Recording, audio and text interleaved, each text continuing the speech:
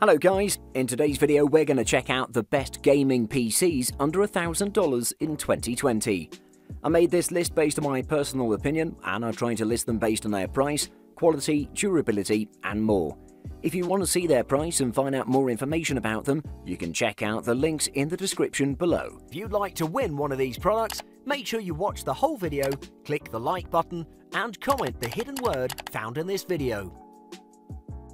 Number 5 iBuyPower Trace 4. The iBuy Power line of gaming desktop PCs has long been a favourite top-of-the-line boutique builder, and for a good reason. In addition to offering gaming systems with strong performance and low starting prices, its machines are suave and stable. With the Trace 4 9310, you're getting a fairly sleek and flashy design complete with a pair of RGB lit strips on the front, a transparent side panel and RGB fans within the case. The iBuyPower Trace 4 9310 has a diverse number of connectivity ports, with some at the front and a few others around the back, so you have several ways of connecting your accessories and devices. In total, you have four USB 3.0 ports, two USB 2.0 ports, an Ethernet port and a 7.1 audio channel output. For multi-monitor setup, you have an HDMI and DisplayPort. Wireless connectivity comes via 802.11 AC Wi-Fi. The iBuyPower Trace 4 9310 in this review is billed as a gaming desktop, but looking at its feature set, it's obvious that this machine can easily double for both gaming and productivity. Our review unit comes with a 3.6 GHz AMD Ryzen 5 3600 processor, 8GB of DDR4 RAM and 240GB of SSD storage, alongside a capable AMD Radeon RX 5500 XT graphics card. This is enough power for web browsing, photo editing, medium productivity tasks, and some moderate video encoding. Simply put, it's an enthusiast gamer's paradise, capable of running most processor-hungry tasks, modern AAA games seamlessly, ensuring that your gaming experience is completely immersive. That applies to similarly medium-demanding applications like video editing programs. Number 4. Asus ROG Strix GA15DH as with any other pre-built desktop, the GA15 is ready-made for use right out of the box.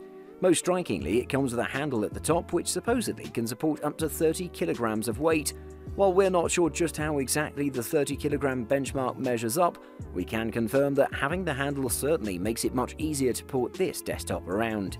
It's great for users who constantly move about or who are just looking to join their next LAN party with greater ease. That said, the GA15 is still quite a hefty machine despite being the slimmer model in the line, weighing in at roughly 10 kilograms. Importantly, the Asus GA15, much like most pre-builts from the big players, comes in a vast array of builds. Using GPUs as a broad brush barometer of build power, this can stretch from machines with NVIDIA 1650 cards all the way up to a 2070 Super or an AMD 5700 XT. There are fewer processors to choose from, but that's no problem when they all harbour AMD Ryzen excellence. At 1080p, this PC can provide blistering experiences. Getting close to 60 FPS in Metro Exodus on its RTX benchmark is an achievement for sure. This also bodes well for gaming at 1440p if settings are toned down a bit too. If you're willing to pay for a quality gaming PC right now that could be your go-to work PC as well, on the other hand, then I can't think of many better investments performance-wise. The best of both worlds is to get the Asus GA15 now, enjoy it, and then upgrade your build with a new GPU down the line.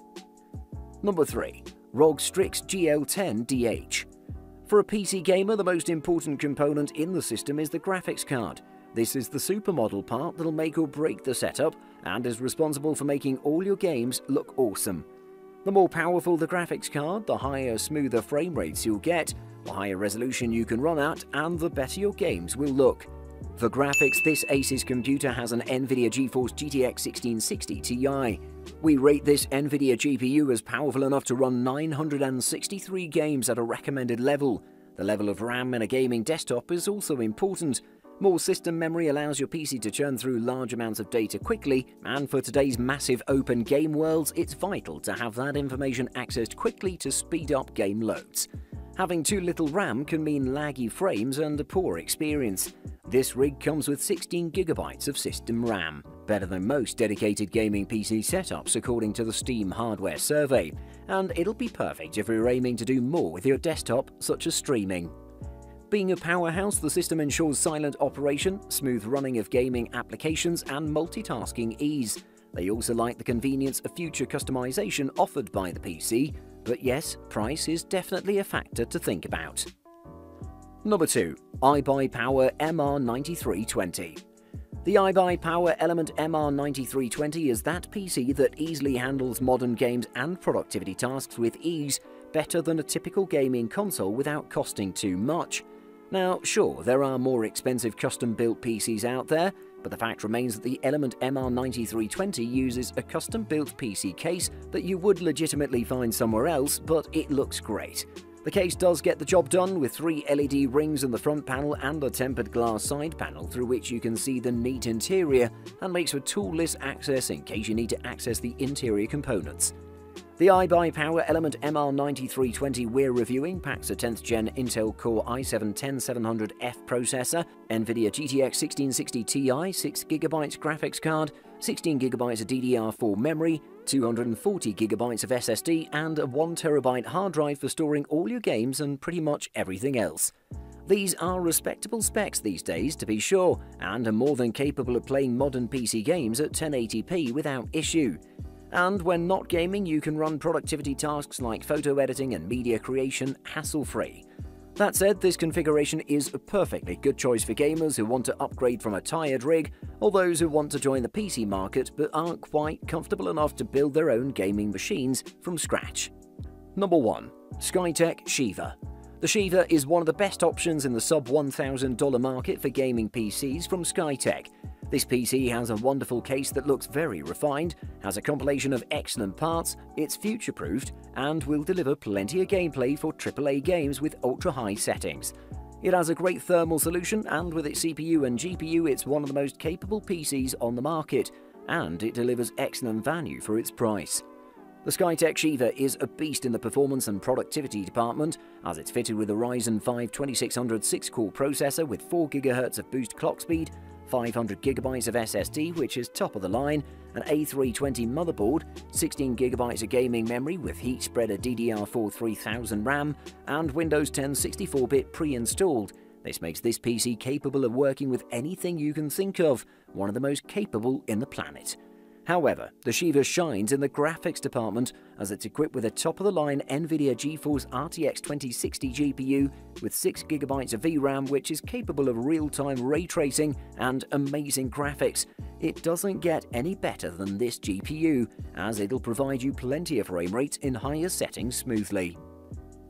Buying Guide Firstly, Processor when you buy a gaming desktop, whether it's one you built yourself, a custom gaming rig, or a pre-made model from Dell or HP, the processor will be the first specification you see, and for good reason.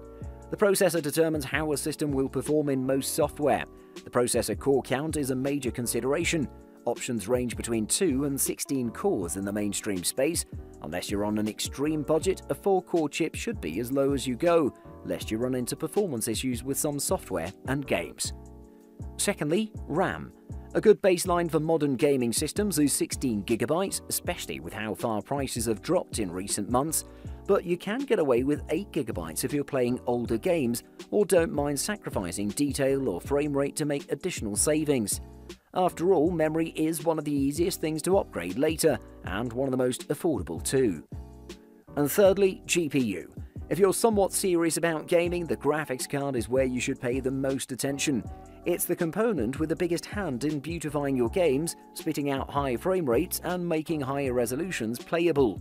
Model numbers tell you much of the story here, with higher numbered cards typically meaning more performance, though there are some caveats there, and overclocked models from third party GPU partners can close performance gaps between versions. Thanks for watching. I hope you liked the video. If you found it helpful, please remember to leave a like and subscribe to my channel to see more videos like this in the future. If you have any questions related to these products, you can leave a comment below and I'll get back to you as soon as I can.